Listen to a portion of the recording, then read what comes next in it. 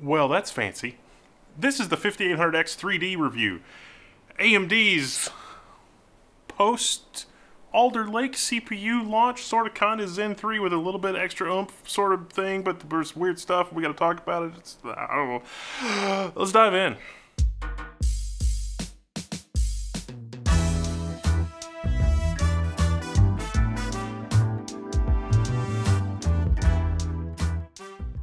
So,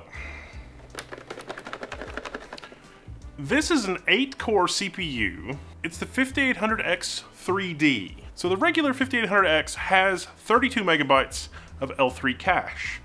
This CPU has an additional 64 megabytes of L3 cache, bringing the total up to 96. That's pretty much it. Oh, and it's locked down. Not overclockable, we'll talk about why. Kind of makes sense. But that's the big difference. From 32 to 96 megabytes of L3 cache. It's just drop in.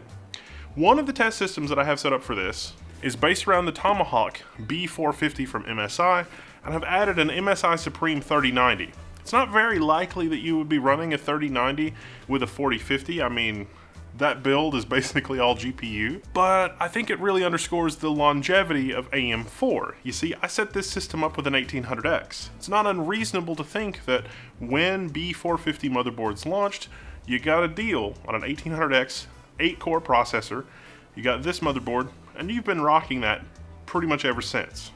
Maybe you got a deal on a 3090 or other high-end GPU. The 3090 is really a stand-in for higher, uh, higher-end GPU, and you want to see what kind of a you know system that you want to do for an upgrade. I think this demonstration is going to really underscore how awesome AMD's platform is because you can just literally pick up a CPU, update your BIOS, drop that in, and be good to go. But before we get to that, let's talk a little bit about performance. this thing is amazing, but I have to temper your expectations just a little bit. When we're talking about 10th and 11th generation Intel CPUs, you know, the 10 core for the highest end i9 and the 8 core for the highest end i9 and also the i7s, it's really down to instructions per clock and how fast things can move in and out of the CPU. Well, what makes this CPU special is that it's able to cache more of what's going on from main memory. The problem with that is that, strictly speaking, it doesn't really translate into uh, more of a generic IPC uplift, more of a generic performance uplift. When Intel moved to Alder Lake, their new architecture, where they have P cores and E cores, they designed the processor so that the P cores would be absolutely monstrous in their computation, but also their power utilization. It's not really possible for them to easily cram 16 of those P cores on a single CPU. So they make up for it with weaker, slower E cores. And philosophically, that's, a, sort of similar to what we saw with chiplets. We got an 8-core chiplet and an 8-core chiplet, and maybe on the 5950X, there's a weaker 8-core chiplet and a stronger 8-core chiplet, but they're physically the same design. It's just, with Intel's, it's a monolithic piece of silicon, it's not chiplets, and there's 8 cores that are designed to be fast and 8 cores that aren't. And make no mistake, Alder Lake, a serious competition for AMD, finally, whereas in prior generations, well, Intel might have been struggling just a little bit. So enter this, for gaming, the 5800X 3D. So the 5800X really isn't much competition for Alder Lake, except maybe in pricing at the low end, some exceptions, but not at the highest end. But here we have this CPU, which absolutely gives the 12900KS a run for its money in gaming. So if we take a look at our 5800X in CPU-Z, side by side that with our 1800X, those are some significant gains since Zen 1. But if we side by side by side that with the 12900K in CPU-Z's built-in benchmark, well, the 12900K is still pulling far ahead. And yet, when we run benchmarks with Shadow of the Tomb Raider, this plucky little CPU can pull far ahead of the 12900K, even the 12900KS. And this holds pretty much true for most of the AAA titles. There's a few that don't, we'll come back to those, but generally, the performance is pretty improved. This is just a sample of the madness that we're looking at here with the 5800X 3D. So this machine is a 12900 KF. We're running with a 3090 Ti. We can only manage 241 FPS. I mean, 241 FPS, that's pretty awesome. It's a high preset. We don't have ray tracing. There's nothing strange going on with that. But if we take a look at the 5800X 3D, we're rocking just a regular 3090 and it's 250 FPS with a 3090. 250 FPS with a 3090. What? And when we finally do put the 3090 Ti in the 5800X 3D system, it's over 270 FPS. For me, I think the, the more interesting story is uh, the upgrade path. If, if, you're on a first or second gen Ryzen, oh, you got a 2700X, drop this in. Chances are it's just going to work. AMD and board partners are even working on X370 support. There's a little stop and start there with do we want to support that? Do we not want to support that? Maybe the competition has changed. It's like, all right, we're going to give gamers an out. We're going to let them upgrade CPUs if they really want to for select X370 motherboards that really support it. To be sure, older motherboards support for things like PCI Express 4 Eh, not so much. So when you look at the benchmarks with the 3090 on this B450 platform with the 5800X3D, bear in mind that is an older platform and performance will suffer a tiny, tiny little bit because it's an older platform. And yet, this plucky little B450 can pull ahead of a 9900 KS. Yes, it can. So let's talk about the games that don't benefit from cache because that's what makes it weird. It's not universal. CSGO. CSGO is a great example. CSGO is a game that's not really doing much of anything with the CPU in the first place. It fits entirely in the cache memory of Alder Lake and even the 32 megabyte versions of you know Ryzen 5000 CPUs. So when you increase the cache from 32 to 64 megabytes, it doesn't really benefit those games because they're already super optimized. Their memory access patterns are already super optimized.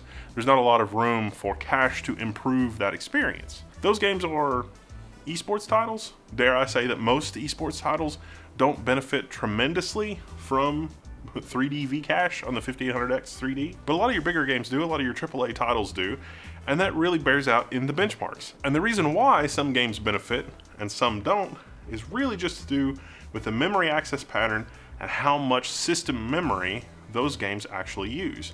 The question of whether or not to upgrade if you're on a Ryzen 5000 series already is a little murkier.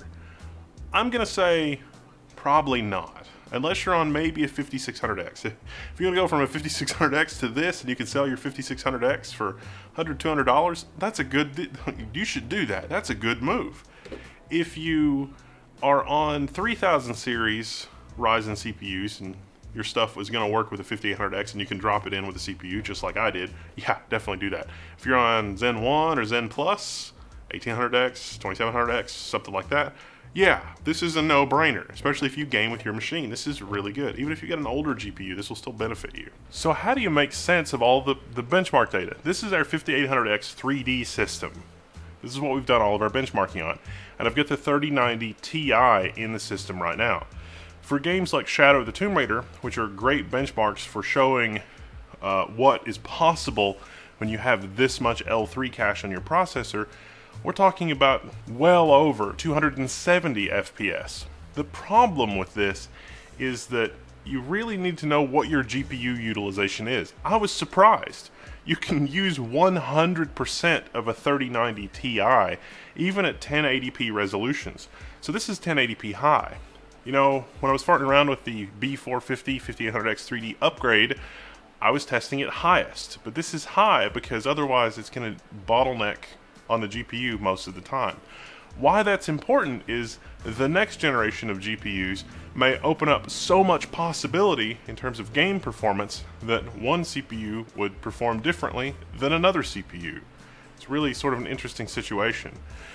At higher resolutions like 1440p and 4K, the 5800X3D sort of starts to perform on par, generally, with the Alder Lake 12900KS, or the 12900KF that we use with, with our testing. On the one hand, we've got, you know, the newer microarchitecture, which is generally faster for general computation, but on the other hand, we have the 5800X3D with the Monster Cache, which will benefit some computational workloads, but not necessarily all workloads. Outside of games, one of the few areas that translate into more performance is also to do with compression decompression. And that kind of makes sense because when you're compressing something, you're sort of generating a dictionary of things that are repetitive in a file, and you have to look that up. It's a lot of memory operations, more cache helps with that. Similar with decompression, similar with other types of jobs that are really memory intensive operations. So overall, which processor is faster for your particular game is going to depend on your particular game. Far Cry 6, again, if you're not GPU bound, it seems like the 5800X3D is pulling ahead. When you start to be GPU bound, well, it's par, or maybe the 12900K will start to pull ahead. I was surprised that we were able to get some of those edge case scenarios, like the 3090 on a 5800X3D is faster than a 3090 Ti on the 12900KF that we tested on. And that's just, you know, owing to the fact that Tomb Raider really likes having that additional cache. It's a really interesting situation, and I'm sure that you're going to see benchmarks from all your favorite folks with numbers all over the place. And that's why. Overclocking. Why is there no overclocking? Well, the way that they added more cache to this thing is another really interesting packaging technology. They've basically thinned the die and taken 64 megabytes of L3 cache on another piece of silicon Put that on top, and it sort of connects and fuses because of copper micro bumps, and the 64 megabytes lives on top of the CPU die. The problem is that now you have two pieces of silicon, one on top of the other. And if one of them gets super hot and the other one's maybe not getting as hot, it can be a little bit of a problem. And so when you have two pieces of silicon right together and you have 64 or 96 megabytes of stuff in flight in cache, when you're doing overclocking, errors can start to creep in. And there are error correction mechanisms under the hood, but when you've got that much stuff in cache, it's really not an ideal situation when you're overclocking, and that can be a source of errors when you're running the program. So it's going to make things really sort of unstable. And also, the, the cache chip itself, the extra 64 megs of cache, wasn't really designed for overclocking. It was, it was designed for the enterprise. And, uh, you know, AMD needs to get this product out the door. So, a lot of mitigating factors. The thing that makes me feel better about the overclocking situation with the CPU, in that there is none, is that when I turn PBO on for most of the Ryzen CPUs that I've had, the ones that support overclocking, PBO doesn't make a huge difference. The last CPU that made a huge difference with PBO for me was the 2990X, the 32 core, and I still have a system that's running PBO, which requires monstrous cooling, and it's basically been running 24 7 since launch day. It's fantastic. I've got a 5950X, tried enabling PBO, introduced some stability issues, dialed that back. I've got three 5900X systems that I've tried PBO on all three of them, CPUs from different points in, in life. PBO works okay on one of them, and it does give me a little multi-core performance boost, but doesn't really help with single core. So I don't think you're really giving up a lot without PBO and overclocking. It is technically true that the extra L3 cache is just a tiny, tiny little bit slower than 32 megabytes of L3 cache. However, in practice, because it's caching so much more memory, it's a net positive. Now keep in mind the AIDA64 benchmarks are on a B450 platform with older G.Skill DDR4 3200 memory. So DDR4 3200 without the best latencies. This thing is going to run like a champ even on a new platform. So if you have something really hideously ancient and you're looking to build an affordable gaming machine, like for like, and you're not upgrading, this is still a more inexpensive platform. Not only does this use about 100 watts less at the wall in a worst case scenario configuration uh, versus Team Blue, again, that's worst case scenario, the platform itself is perhaps more affordable owing to more diversity in motherboards. More upgraders upgrading motherboards, creating an opportunity for you to pick up a motherboard that's compatible on the secondary market. Woo! But you can also get a nice new motherboard. I mean, you get a nice B550 motherboard for this, no problem. And the part that really just blows my mind is I can't believe that for gaming, how much faster this can be than a 12900K. Now, to be sure, for Cinebench and everything else, the 12900K is going to outperform this. It's 16 cores. The best deal in the Alder Lake family, I think, is probably the 12400, the 6 P cores, no E cores, i5, and probably the i7 uh, 12700K if you want to do overclocking. Those are probably the best CPUs on Team Blue. You would be hard pressed to build a system that performs this well at this price point from either one of those two parts. It's really pushing it. It's maybe a little more possible on the 12400 with the 6P cores, but uh, I mean, it's uh, competition. It's alive and well. I'm Wendell, this is Level 1. This has been a quick look at the 5800X 3D and gaming benchmarks. It's certainly a powerful CPU for gaming, and it's the fastest CPU for gaming.